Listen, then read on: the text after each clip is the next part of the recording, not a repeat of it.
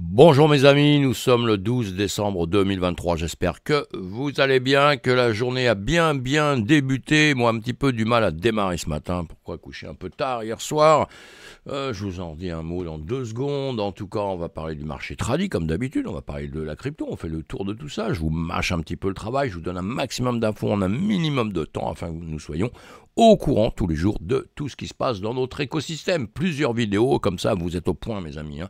Vous êtes au point, encore une fois, il est très important d'apprendre, d'apprendre un petit peu ou de renseigner, de se renseigner en tout cas, parce que nous sommes dans un monde de la finance. Le monde de la finance, très risqué évidemment. Je ne vous fais pas de conseils en financement en investissement, en financement, mais en revanche, je vous dis de faire très très attention et surtout, surtout, surtout, j'insiste, vous renseigner, apprendre, c'est comme ça qu'on avance, hein. sinon il faut passer à autre chose. Il faut faire autre chose, il faut faire du football, c'est plus facile. Hein, quoique le football, euh, c'est dur quand même, hein, parce que si vous apprenez pas pendant très longtemps, eh ben vous pouvez pas être un bon joueur. Allez, j'arrête mes blabla, on va parler de FTX, on va parler de Warren. Et tiens, tiens, Warren, Warren, est-ce que c'est pas elle qui a fait chuter le marché On va en parler aussi un petit peu. Hein. Euh, débat présidentiel sur la crypto, on va parler du Salvador, on va parler de Google, d'investissement en crypto-monnaie. Coinbase, la FIFA, euh, je ne sais plus encore deux trois petites choses comme ça. Suivez-moi jusqu'au bout, vous verrez ça va très vite et, euh, on en sort euh, vraiment vraiment très content. Je plaisante mes amis, je suis de bonne humeur, je suis de bonne humeur ce matin. Pourquoi? Parce que j'ai passé une bonne soirée hier soir. C'était la soirée des, DGG une fois par mois. Si vous ne connaissez pas ce groupe, euh, allez chercher sur Google, vous allez voir, vous allez le trouver. Euh, créé par euh, Mintian et un groupe très sympa avec des gens très très sympas. Hein, comme d'habitude, tous les gens qui sont dans l'écosystème sont très très sympas. Les gens du Web 3, etc., etc. Donc, on a passé une bonne soirée. C'était très, comment dire euh, très enrichissant, quoi, hein, enrichissant au niveau euh, humain, au niveau euh, connaissance. on rencontre aussi des entreprises. Après, on aime, on n'aime pas. Chacun, chacun sa vie, chacun fait ce qu'il veut et chacun ses jugements sur les choses qui se, qui se font, qui avancent. Hein, mais beaucoup d'entreprises font un, certain travail. Eux, les GG justement, euh, Minken, reçoivent ces gens-là et ils peuvent comme ça présenter leurs projets. Donc, si vous êtes sur Paris, ça se fait régulièrement, à peu près tous les mois. Donc, moi, je vous conseille d'aller rencontrer la communauté à ce moment-là. C'est quelque chose d'important. Bon, on a fini un petit peu comme des euh, euh, dévertébrés, un petit peu quand même. Hein. La soirée, allez, je plaisante, ça s'est très bien terminé. Pas d'excès, rien du tout. Dans la bonne humeur, on a bien rigolé. Et puis après, on a bien mangé et on a profité de ce cher Web3. Allez, mes amis, j'avance, sinon je vais rester trop longtemps à faire du blabla. Vous me connaissez, il hein, faut stopper à un moment donné. Hein. En tout cas, bravo GG, bravo à Mitian et euh, pas vu que ça dure, comme on dit. C'est la vie pour tout le monde. BTC. ETH, BTC 40 817, lui aussi, pourvu que ça dure, ça, pourvu que ça dure, ça rebaisse un tout petit peu. On a déjà vu, on suit ça euh, de près, vous suivez tout le marché, alors il y a le BTC, le patron de tout ça, puis après vous avez le patron, la patronne, hein, je ne veux pas blesser personne, mais euh, on dit le Bitcoin, donc je dis le patron, mais sinon euh, on a tout le marché de la crypto derrière qui suit évidemment le BTC quand il monte. Les altcoins théoriquement doivent faire la même chose, donc on surveille un petit peu où on a mis nos pieds, voilà, hein, on va voir les gagnants, les perdants, on regarde un peu on se situe. Étudie tout ça. Si vous ne savez pas super bien le faire tout seul, on le fait ensemble, hein, quand on se retrouve sur Twitch autre part. Et voilà, calendrier économique, il y aura pas mal de, news. Euh, aujourd'hui, on aura évidemment le CPI. Euh, et puis on aura euh, demain des news aussi. On va attendre demain. On va attendre demain soir. Demain soir, hein, la Fed. Donc on aime bien un peu ces news là. Ça fait bouger un peu les marchés. Alors FOMC, tout ça, etc. Quand vous êtes trader, c'est génial. Quand vous êtes trader, c'est bien parce que les marchés bougent. Donc on en profite. Hein. Si vous n'êtes pas trader, bah, vous regardez. Vous essayez justement de comprendre, de passer un peu de temps avec ça et de comprendre un petit peu ce qu'on dit, le pourquoi du comment sur l'économie. Ça s'apprend tout doucement, tout doucement, mais sûrement encore une fois. Allez. Euh, Wall Street euh, regarde avec anxiété la diminution de ses réserves de liquidité, oui, effectivement. Et puis aussi Wall Street, toujours Wall Street. Pourquoi? Bon, ça domine un peu le monde quand même. Hein. Clôture à de nouveau sommet en 2023 alors que les données sur l'inflation sont surveillées par la Fed. Je vous fais un petit commentaire sur tout ça. Moi, évidemment, comme d'hab, la hausse des taux d'intérêt à court terme est un indicateur clé de la tension sur la liquidité du marché, hein, la certitude sur le seuil de liquidité adéquate, avec des estimations allant de 2500 à 3000 300 milliards de dollars accentue euh, l'anxiété du marché. La Fed a injecté des liquidités pendant la pandémie, mais son action actuelle de retrait par le resserrement euh, quantitatif réduit la disponibilité des fonds, ce qui pourrait déclencher une volatilité accrue. Les banques réagissent en augmentant leurs réserves, comme l'a fait Banque United, passant de 400 millions à 2 milliards de dollars pendant la crise pour prévenir les risques de liquidité. De même, Amalgamated Bank a augmenté la couverture de certains dépôts non assurés, montrant une approche plus prudente et conservatrice. Cette situation souligne l'importance d'une surveillance et d'une analyse continue pour comprendre les dynamiques du marché et anticiper les futures fluctuations. Évidemment que c'est très important tout ça. Vous inquiétez pas, la punition actuelle ne dure pas très longtemps, mes amis. Encore quelques lignes et après on passe à notre chère crypto-monnaie. Mais il faut être au courant de ce qui se passe dans l'écosystème, dans le monde traditionnel, puisque quand même, on en fait partie. Et là, on a les actions américaines ont clôturé donc à de nouveaux sommets annuels le lundi. Alors entre le marché traditionnel et notre marché de la crypto-monnaie, nous, c'est que les marchés tradis, bah, ils ont des horaires bien définis, hein, bien définis, des week-ends où ils dorment, ils se reposent. Hein. Nous, on travaille tout le temps, 7 hein, jours sur 7, 24 heures sur 24, c'est un petit peu la différence avec les marchés. Et c'est très important les ouvertures de marché, les fermetures de marché pour les traders. Pour les traders, c'est très important parce qu'il y a des petits mouvements à ces, à ces, à ces moments-là, un peu plus de volatilité, peu plus de pourcentages qui vont se faire. Donc euh, parfois euh, c'est intéressant. Et c'est intéressant de suivre tout ça, ce qui va bien, ce qui va pas bien, hein, parce que si vous partez à la hausse sur des trucs qui ne vont mal, normalement vous, allez la tête dans le mur, hein, ou sur le plancher en tout cas. Et je vous disais quoi là? Bon, allez, je vous disais plein de choses, je vais continuer. Ces événements influenceront significativement les attentes des investisseurs sur l'évolution future des taux d'intérêt. Le marché augmente euh, ses prévisions d'un taux euh, d'une pause dans la hausse des taux de la Fed et envisage même une baisse potentielle des taux au premier semestre de l'année prochaine. Attention, on va attendre le discours, tout ça, on va attendre ce qu'on va nous dire quand même. Hein. Et le Dow Jones a progressé de 0,43%, c'est pas mal, le S&P 500 de 0,39% et le Nasdaq de 0,20%. Bon, voilà, l'indice des semi-conducteurs PHLX a atteint son plus haut niveau depuis le 5 janvier 2022 avec une hausse notable de Broadcom de 8 99%. Signa a bondi de 16,68%, hein, tandis que Nike a gagné 2,33%. Les marchés vont bien en ce moment. Hein. Les marchés vont bien. C'est pour ça que je vous dis un petit peu tout ça, parce que ça va bien. Hein. Ça va trop bien. Ça va trop bien, moi, je pense. Et cette euh, légère hausse des indices boursiers américains reflète un optimisme prudent des investisseurs, anticipant des nouvelles favorables de la part de la Fed et des données d'inflation modérée. Cette tendance haussière, malgré l'incertitude, est soutenue par l'espoir d'un ralentissement de l'inflation sans entrer en récession. Donc on va attendre demain, on va attendre les news de demain pour aller plus loin. Nous on va regarder sur les graphiques un petit peu d'XCI, euh, des, euh, pardon, Hop, la bougie d'une journée, hein, donc hier, plutôt euh, rouge un peu, mais on était dans une remontée. Hein, L'euro-dollar, on voit bien, enfin tous les autres, hein, celui-ci, euh, quand il se comporte bien, les autres vont à l'envers, c'est euh, classique. Donc 4,40 et le DAX ce matin, l'ouverture petite euh, montée, donc euh, ouverture à, la hausse, on va dire, hein, à la hausse, puisque c'est reparti, ça redescend, ça remonte, ça reste en haut pour euh, le 440 hein, et, le DAX, lui, bon, en revanche, l'ouverture descendu, on a fait une bonne remontée un peu plus haut pour redescendre un peu. Hein. Vous voyez les graphiques, je vous entraîne sur les graphiques tout le temps pour une bonne raison, même si vous ne voulez pas être trader, les graphiques c'est essentiel parce qu'en deux secondes, normalement, vous comprenez les marchés, vous comprenez ce qui va un peu se passer, voilà, dans les heures à venir, les minutes Hein, et quand vous regardez dans une unité de temps très euh, longue, c'est-à-dire vous regardez en semaine ou en mois, vous pouvez envisager de ce qui va se passer dans l'avenir. Donc c'est très très important d'apprendre à suivre euh, cela. Hein. Je pense que c'est indispensable quand on rentre euh, dans des actifs risqués, quand on rentre dans des actions ou des choses comme ça. Pour moi, ça me paraît indispensable tout ça. En une heure de temps, notre BTC qui avait rebaissé un petit peu, remonte euh, légèrement, donc c'est pas mal.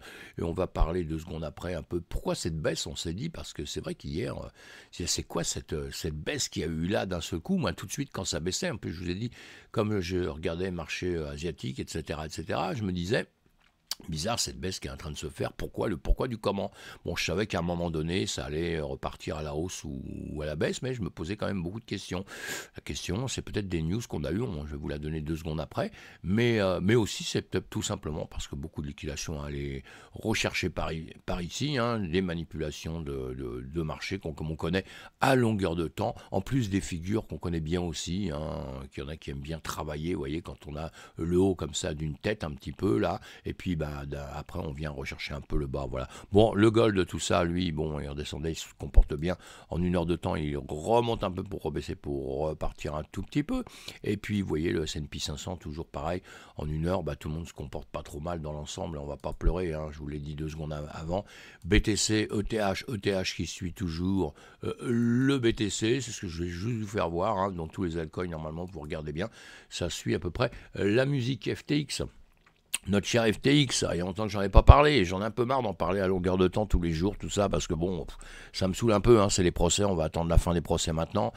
Le truc que je dis depuis très très longtemps, où ça me décourage un peu, où je me dis de toute façon que les gens à la finale, ceux qui ont perdu beaucoup, bah, ils auront perdu beaucoup, euh, c'est tout, et je pense que je me trompe pas trop là-dessus non plus, encore une fois, malheureusement, malheureusement, je dis bien, je préfère me tromper quand c'est pas terrible, euh, parce, que, euh, parce que là, on s'aperçoit dans un article comme ça que, bon, bah, ils sont pas d'accord avec les frais, les machins, des baisses de frais, mais enfin, il y a beaucoup d'argent qui est pris hein, pour le fonctionnement justement de, tout ce qui est en train de se passer actuellement. Et résultat des courses, pour moi, c'est qu'à la finale, euh, il n'y aura pas d'argent pour rembourser les gens. quoi. Hein, c'est un petit peu ça. Hein.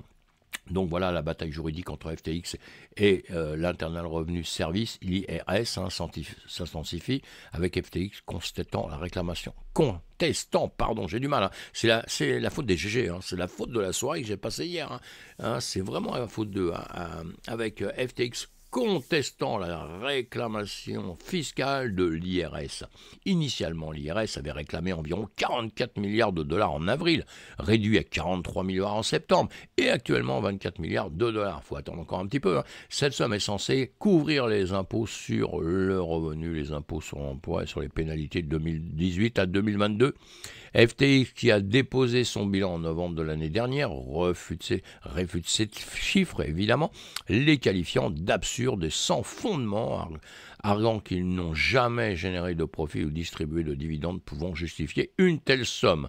Euh, bah non, ils ne pouvaient pas dépenser dans ces voitures puis dépenser ça autrement. Non, je plaisante. Hein. Les avocats de FTX affirment que les exigences fiscales de l'IRS ne font que retarder les remboursements aux victimes et créanciers et demandent un calendrier pour éviter un retard prolongé dans les distributions. La prochaine audience est prévue le 13 décembre. Donc enfin, encore une fois, je vous mets ça juste pour une seconde comme ça parce que euh, affaire à suivre hein, pour ceux qui suivent ça de près. Hein, ça, devient une affaire quand même assez extraordinaire.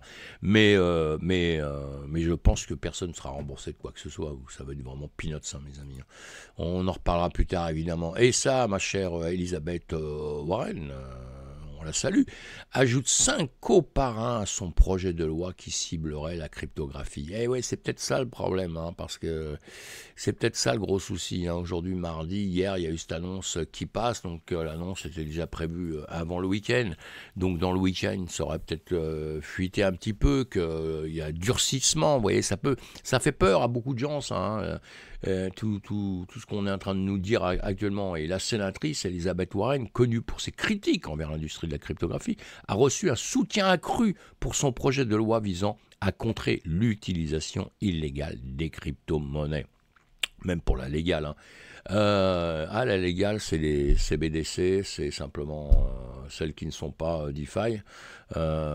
allez, arrête de dire des bêtises. Cinq sénateurs supplémentaires ont joint en tant que coparrains du Digital Asset Anti-Money Laundering Act, incluant Raphaël Warnock, Lafonza Butler, Chris Van Hollen, John Hickenloper et Pan Ray Lujan. Ce projet de loi cherchait à intégrer les mineurs de crypto-monnaies, les validateurs et les fournisseurs de portefeuilles sous les exigences de la loi sur le secret bancaire, notant notamment les règles de connaissance du client. Van Hollen a souligné que les risques que la cryptographie sans réglementation adéquate peut poser, notamment en tant qu'outil de financement pour des activités illicites. Ah, ça revient ça, la lutte contre le blanchiment d'argent et le financement du terrorisme via La cryptographie est également une préoccupation majeure de l'administration Biden. Alors, eh, vous avez bien compris, hein, il ne nous aime pas, il lutte contre le blanchiment d'argent, il n'y a pas de problème, il devrait passer moins de temps sur notre dos et passer plus de temps sur euh, leur blanchiment euh, d'argent dans le monde traditionnel, parce qu'il y en a depuis longtemps, longtemps, longtemps, longtemps, et longtemps. Hein, d'accord Donc euh, un peu moins de temps sur notre dos, un peu plus de temps chez eux, et peut-être le monde se porterait mieux. Allez, je déconne, mais peut-être qu'il y a eu des annonces qui ont un peu fuité ou en même pas fuiter, parce que là c'est un peu méchant ce que je dis, hein, mais, euh, mais vous savez, quand vous êtes impliqué dans quelque chose, c'est pour ça que je vous dis, on doit suivre des news, tout ça, parce qu'à force de, d'être impliqué, quand on est dans un système, bah, on est au courant avant tous les autres depuis ce qui peut se passer, hein, évidemment, hein. et les gros investisseurs, tout ça, les gens qui, mettent beaucoup d'argent quelque part, bah, ils suivent de près un peu tout ce qui se passe. C'est pour ça qu'ils ils, ont des actions qu'ils font un petit peu avant les autres, ou en tout cas, il faut bien que quelqu'un débute un jour, et voilà. Donc là, je pense qu'il y a eu des retraits de fonds, alors soit pour des bénéfices, soit par peur, soit on ne sait pas quoi, mais en tout cas, ça a fait chuter légèrement le BTC. Je dis bien légèrement, hein, parce qu'entre nous, tant qu'on reste entre euh, les 32 000, tant qu'on reste, regardez, je vais vous le faire voir en deux secondes là quand même. Hein. Après, je vous fais, je fais toujours une autre vidéo entre ça. Mais tant qu'on va rester ici euh, entre euh, les 32 000, voilà, que je vous ai mis ici, hein, on va dire, allez, on va prendre celle-là, 33 000, 33 000, en dessous, là, on est sur les 30 000, 32 000, dans le temps, c'est 32 000, je vous ai toujours dit, il faut passer la, barre des, 32 000, on va dire, hein, et tant qu'on reste entre 32 000 42 000, pour moi, il n'y a aucun problème. Hein. On peut venir faire le yo-yo là-dessus et repartir. Il ne faut pas avoir peur. Ça peut être des zones de rechargement justement, ce qui est tout à fait jouable aussi dans notre écosystème, on connaît ça. Donc, euh, mais faut pas avoir peur. Après, bon, si ça descend un peu en dessous, on pourra euh, avoir des frissons un petit peu, hein, mais on, est bien parti. Et normalement, l'année 2024, théoriquement, théoriquement, je dis bien, hein, tout devrait nous sourire, hein, évidemment. Les candidats à la présidentielle discutent de tornado cash et de la législation en attente lors de l'événement Stand Wave Crypto. Alors, lors de cet événement, des candidats à la présidence américaine, y compris les républicains, Asa Hutchinson, Vivek Ramaswamy et le démocrate Dean Phillips ont discuté en détail des questions liées à la crypto-monnaie. Rasmani a abordé le cas de tornado cash sanctionné par le département du Trésor et l'a comparé à une forme de discours. Il a critiqué la pénalisation d'un protocole entier, plaidant pour une approche ciblant des acteurs individuels. Très bien. Lors du débat présidentiel républicain, les candidats sont également évoqués Binance, l'ancien PDG de FTX, et Gary Gensler de la SEC. Euh, voilà, Dean Philippe a souligné l'importance de la confidentialité dans la cryptographie, mais a mis en garde contre son usage néfaste. Évidemment, on est d'accord avec eux.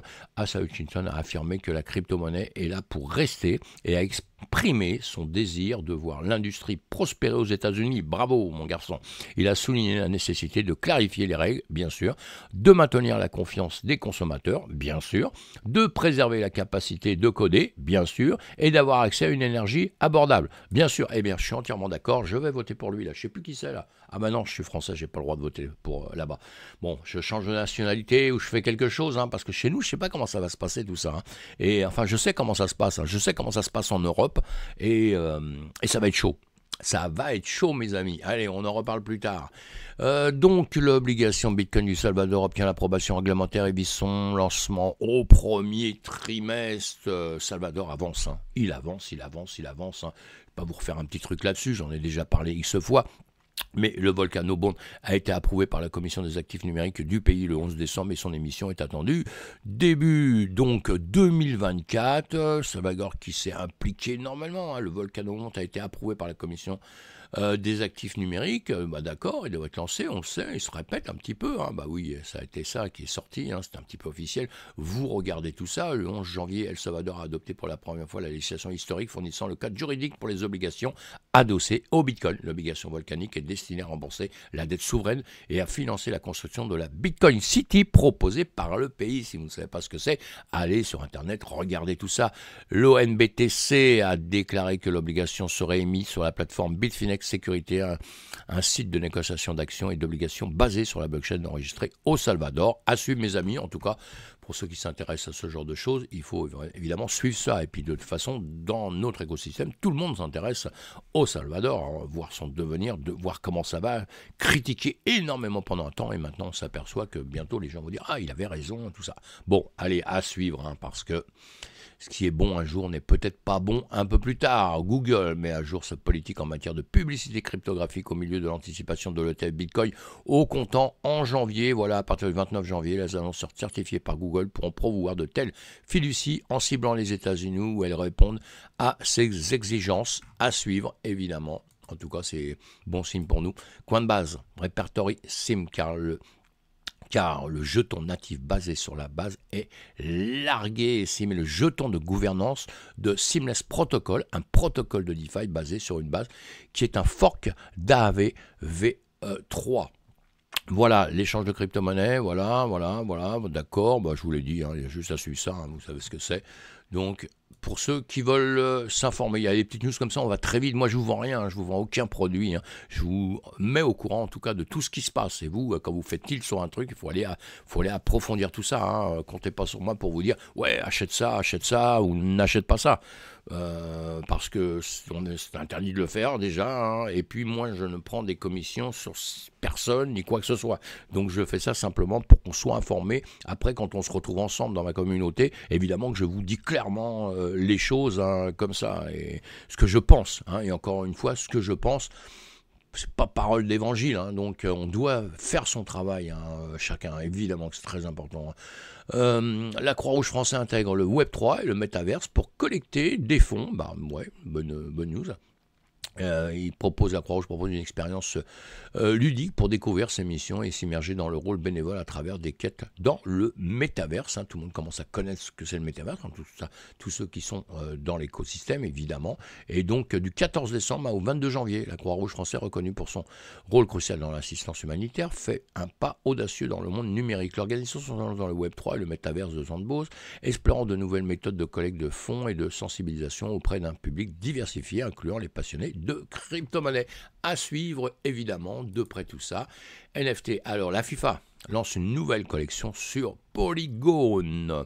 Voilà, la collection sera déployée sur la blockchain Polygon, réputée pour ses faibles frais de transaction. Les holders du premier lot de 100 NFT pourront gagner des billets pour la finale de la Coupe du Monde 2026. Ça va venir vite, hein, tout ça. Hein. ça passe tellement vite le temps. Voilà les news. Hein. vous allez creuser tous ces petites euh, news-là si ça vous intéresse. Et on est au prochain. Quoi qu'on peut faire un petit tour rapidement, comme je suis une revue de presse.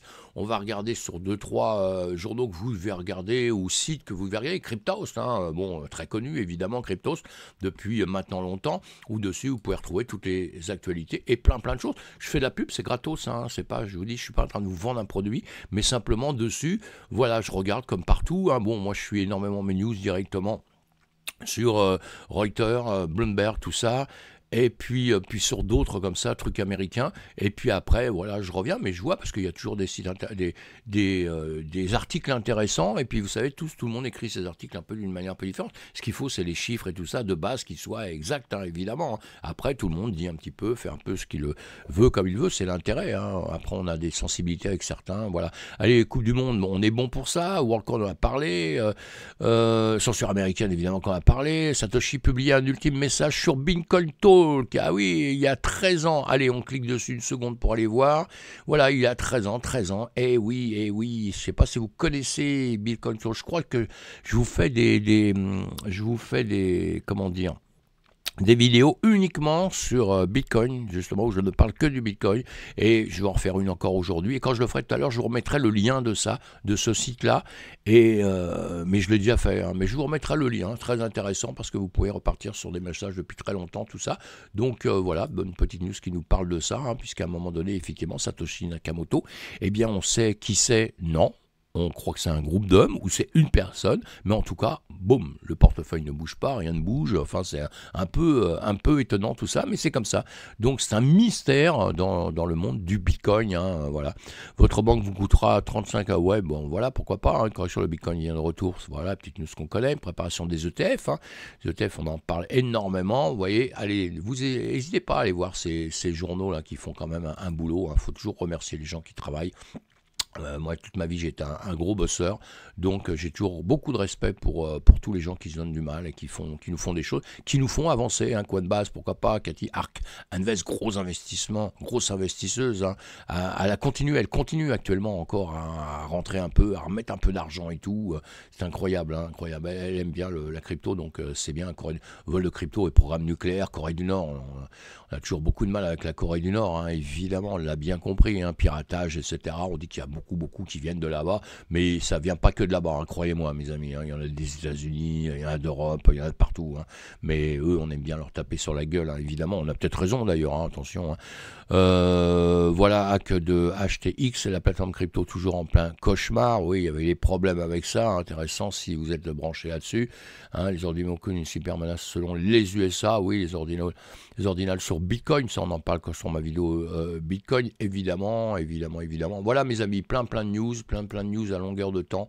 Donc, euh, vous gênez pas pour aller voir quoi. Cocorico, le pays qui fait le plus n'importe quoi avec les cryptos. Oui, et alors ça, allez lire ça. Ouais, effectivement je vous mettrai le lien aussi, vous allez voir, hein, sinon c'est Presse Citron. Eh bien, malheureusement, hein, Cocorico, vous avez compris qui c'est. Hein.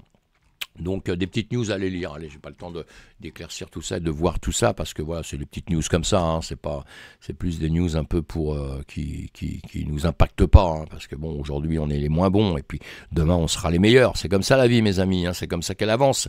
Allez, bye bye, ciao, faites attention à vous et puis, euh, on clique sur le pouce si on en a envie. Hein, et puis sinon, on revient sur une autre vidéo et c'est beaucoup plus facile si vous êtes abonné. Comme ça, vous me retrouvez. Bye bye, faites attention à vous, soyez prudents en tout cas.